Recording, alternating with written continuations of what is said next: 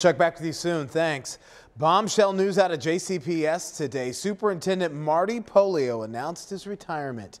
WDRB's Monica Harkins found out it took the superintendent about a month to draft the letter to the community telling them he was stepping down.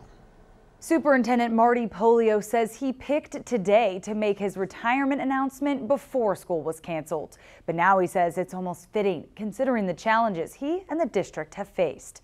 In a letter to families, Pollio says it's been the honor of his life to serve the students, staff, and families of JCPS.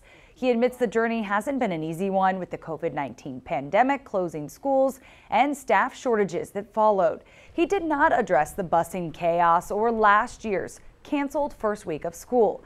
Instead, he pointed to racial equity improvements, curriculum advancements, new schools and sporting facilities, as well as the creation of the JCPS Police Department and improved safety regulations. It's no secret Pollio faced criticism from lawmakers, Pollio calling those attacks from Frankfort in his letter. This as the Republican supermajority is actively looking into splitting the school district. But still, Pollio says Although there have been challenges over my tenure, no one can ever question my passion, fight, and love for Jefferson County Public Schools, end quote. Pollio started in JCPS as a social studies teacher in 1997, then became superintendent in 2017. Now, after eight years of leading the district, Pollio's last day will be July 1st, 2025. Monica Harkins, WDRB News.